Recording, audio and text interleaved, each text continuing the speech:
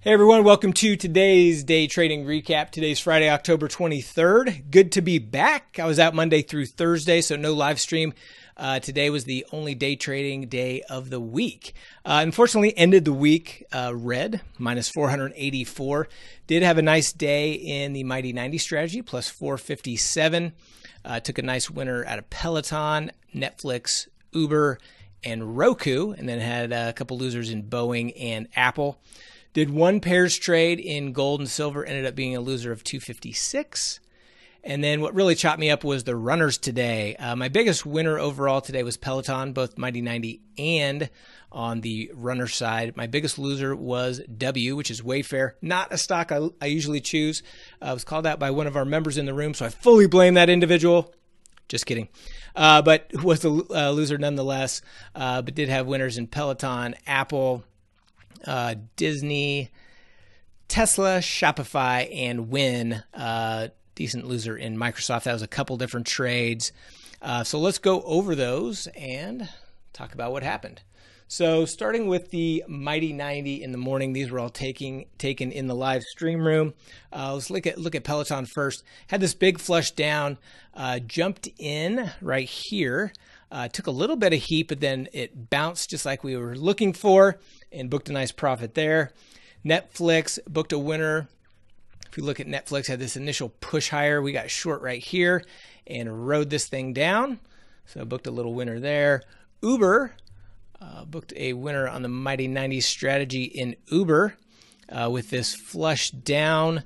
We got long right here and caught this little bounce back up to the pivot. Uh, Boeing was a loser. Let's take a look at Boeing. Uh, this big flush down, we got long right here, and it just never quite bounced. It flushed us out. We ended up just taking the trade off, even though right after, not too long after that, it did bounce, but we were just cutting our losses, so took a loss in Boeing.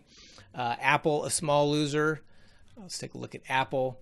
Uh, similar thing, got caught in this flush down, and it did bounce for us, but uh, just uh, not not enough to uh, we, we took too much heat, got in up here, and ended up closing out just for a small loss. And then Roku, a winner. Uh, on this flush down here, got long right here and just caught that bounce. Um, oops, that's not correct. That was, I'm not even on today. I was just looking for the Mighty 90 trade. Uh, okay, yeah, so um, let's see, in, in Roku, oh yeah. So in Roku, uh, when when price bounced, we got short here, ended up taking off part of it right here and then held the rest as it just kind of grinded down uh, and ended up booking a winner overall of 121. So that is that. Let's jump into the runners. Really nice runner in Peloton. Peloton continues to be just a great performer. Uh, it bounced, and once it started to uh, kind of firm up above, let's see, I think it was, oh yeah, it was right here. Firm up above uh, the uh, unchanged mark positive for the day. We got long right in this area and rode this thing up to the pivot. Close that out for a $580 winner. In Apple, cut a cut a runner as well, and this was a this was a um, this was a, oh yeah this was a downside runner after we got this little consolidation here right above the lows. We just caught a little piece right there down to that pivot for a nice little win. Wayfair W Actually, I don't even have this on my chart. Oh, yeah, here it is. So in Wayfair, get to today. I'm sorry, my charts kind of jump around here. Uh, so we had this big push up, looked like it was going to be really one of the strongest stocks on the day. Started consolidating right at this pivot, and so we got long right about in this area, and then just got flushed out. My only thing here is I probably held this a little bit too long instead of cutting my losses right away. I gave it a little bit more time and ended up just taking a taking a sizable loss there. So uh, Zoom was looking for a downside runner, had this big push lower, looked like it was going to stay weak all day. It was just consolidating under this pivot, uh, so we got short, and then it just kind of flushed me out uh, when it when it jumped above that pivot. I just bailed on that, cut losses. Uh, same with MU. MU, I was uh, looking for a point to get short because we had this good weakness here, uh, consolidating under this pivot. I waited for a bounce, hoping, looking for, thought it was going to be a pretty good entry, and then it just kept going on me. Ended up getting flushed out, even though it, it did come back down. Uh, I had already bailed and cut my losses there. Uh, Disney, a nice winner for 358. Uh, so in Disney, when it pushed below this and it bounced back up to this pivot, we got short right here and took this nice ride down uh, for nice profit in Disney. Uh, Microsoft had a pretty sizable loser. Actually, it was a, a couple different trades. I was trying to get long. It it, it kept kind of holding above in positive territory, and then I got flushed out for a little loss there. And then same thing.